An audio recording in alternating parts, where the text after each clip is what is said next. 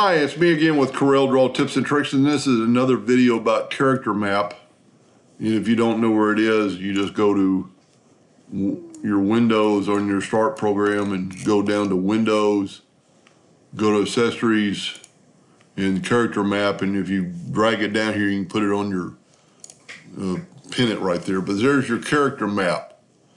So I did a video last night about it and how to find a code number that I just learned.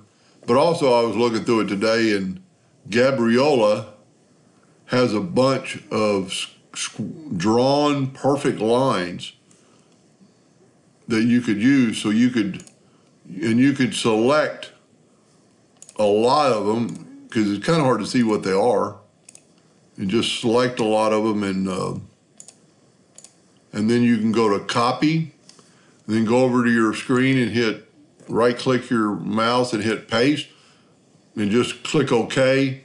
Now it's going to bring them in in paragraph text. So what you could do to do that, let me uh, zoom in here. Whoop. So it brought them up under paragraph text. What you can do is control F8 and it converts them to artistic text. so you've got a lot of lines here and I didn't pick the one I did, but these are actually two of those that I just put together to make a third object. And I mean, it would take you a long time to get that perfect. And if you wanted to just have some squiggles type lines, and there's a lot you can do with this. Now control K to break them apart. And then you could grab this one right here. Let's just kind of play with it.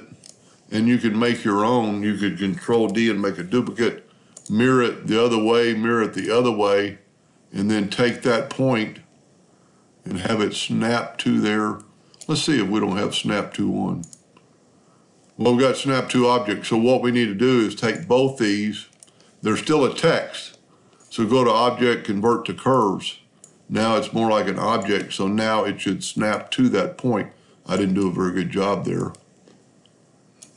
But now you have one unit if you controlled uh, G to group that together, and you could keep going. I mean, you could control D and make a duplicate of that and put this one down here, have intersecting lines. Um, so use that character map, and then when you bring it in, it's a little difficult because it doesn't really have a number like we were talking about last night. Let's uh, erase all these. Last night we were talking about that it set up and, and had a an alternate keystroke down here. But that was under Arial. So if you want to go to Gabriola or Arial, just type in, start typing in Arial, and then you've got Arial. And then here's that one we were talking about last night. And the keystroke is alternate 0241 to get that Spanish in anyway, just kind of play around that, find some stuff and uh, embellish your drawings, and you can do a lot with this. Hope that helped a little bit. Thank you for watching.